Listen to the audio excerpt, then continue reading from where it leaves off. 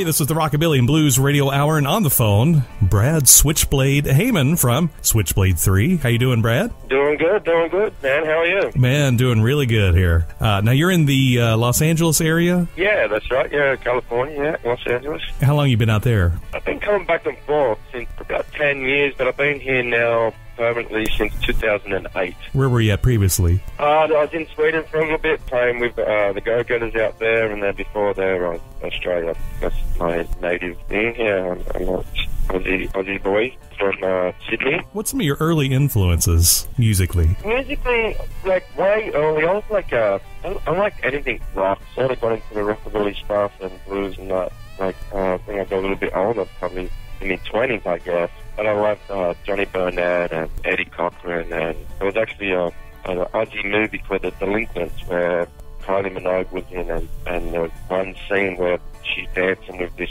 guy on the train track, and the, the song that they're dancing to actually is 20 Flight Rock. And I was like, oh man, what's that? Yeah. I was like hooked, and, and my cousin, where I was working at the time, I was, a- as an apprentice roof tower, and, and he had the soundtrack of the movie, and it was like there was a couple of Chuck Berry songs on there, but that, that 20 Flight Rock, man, I was like, oh man, I, I really dig that. So this is when I started looking into other stuff, and then I, and then I found like Johnny Burnette, and then got into the more neo stuff with like the Stray Cats, and, and then started looking for local bands and seeing what they were doing. Like I love the Paladins, were, were a huge Sure.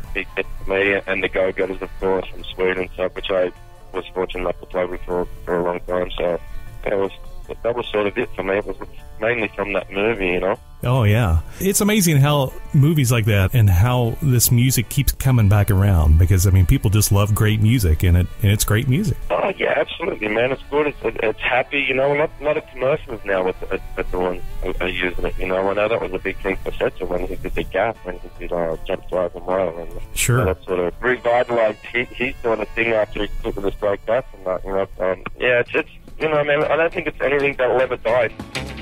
Ooh, well, I gotta get with a record machine. When it comes to rockin', she's a queen. We love to dance on a Saturday night. All alone where I can hold her tight, but she lives on the 20th floor of town. The elevator's broken down, so I walk one, flight, three, five, four, five, six, seven, flight, eight, flight more. Up on the 12th, I'm starting to drag. 15th before I'm ready to sag. Get to the top, I'm too tired to rock. Well, she calling me up on the telephone. She come on over, honey, I'm all alone. I said, baby, you're mighty sweet, but I'm in bed with a aching feet. This went on for a couple of days, but I couldn't stay away. So I walked one, two, five, three, five, four, five, six, seven, flight, more. Up on the 12th, I'm ready to drag. A 15th before I'm starting to sag. Get to the top, I'm too tired to rock.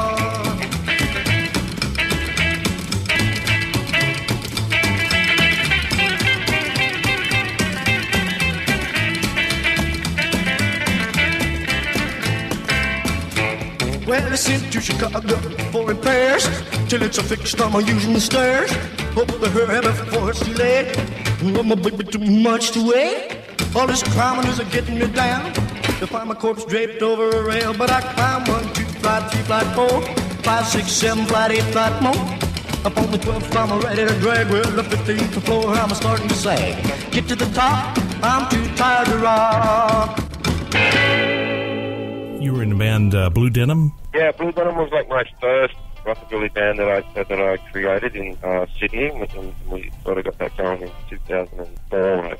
And it was like really popular there, and we travelled. We, we did Vegas a couple of times, and we, we sort of travelled all around Australia, and had a couple of hit songs like back then. Uh, had one in particular was called Just a Cartoon, was really popular over here, and that sort of opened the gate to um, to, to get us to come out to America. And then uh, when I left uh, Sydney to go to Sweden, I thought I, I was playing with the Go-Getters for a while, and then when I come to California, I uh, I signed with a couple of bands, just like local bands around here, and I kind of I was listening to Blue Denim sort of feel, we're kind of like a little bit more out of tradition, like a little bit more neo, and, and the bands I was playing with at the time were like very traditional, and I Mm-hmm. I, I met a really cool cat out here by, a guy by the name of Keith Napper, and you know he was a, a great guitarist, and I was like, you know, man, I, I had this band Blue Denim, I want to redo it, so we we revitalized it. We did like an American version of Blue Denim and we sort of kicked off and we played around and we did Vegas and we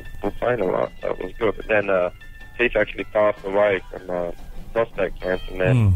I started a new band which is uh, Switchblade 3 and now we're, we're doing, it's, it's going good three years later. So Well, I'm standing on a corner,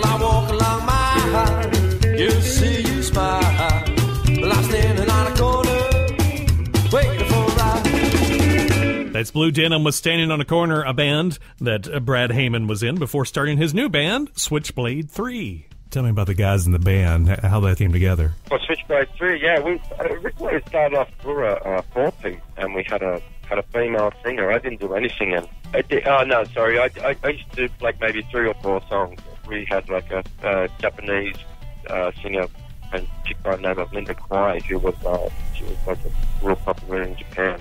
Uh, she had, like, a swing band there, and she wanted to start something out here, and sort of got that going, and then um, we got Bernie come to one of our gigs, Bernie Dressel, and uh, we got him up to, you know, do a couple of songs with us, and he was like, oh, what do you want to do? And I said, well, let's do like a Stray Cat song and a, you know, a Setzer song or anything, or something like that, you know.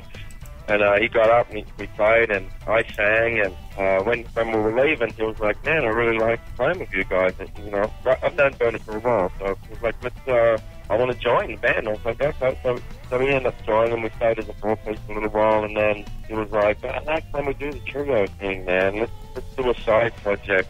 I was like, "All right." So we decided to do like a power trio, and that was it pretty much. Like and Tara just sat down and worked out a bunch of like tried to combine uh, like big band songs and rockabilly stuff, but try and do them as like a three piece, you know. Yeah. So that's that's where Sing Sing Sing come from. And I still remember when we covered that, Bernie was saying, "You got to do Sing Sing Sing, or just a trio." And I said, "Yeah, we'll, we'll do it. We'll, we'll switch off on lines. I'll play one line, and then you'll play that line, and then and he was a little bit skeptical, and then it worked the first time we did it, and then uh, Bernie actually coined the phrase. He was like, "Man, it was like a big band trio." I'm like, "Perfect. That, that'll be our like little motto that we'll have going." So Yeah. yeah, that's sort of how we took off, man.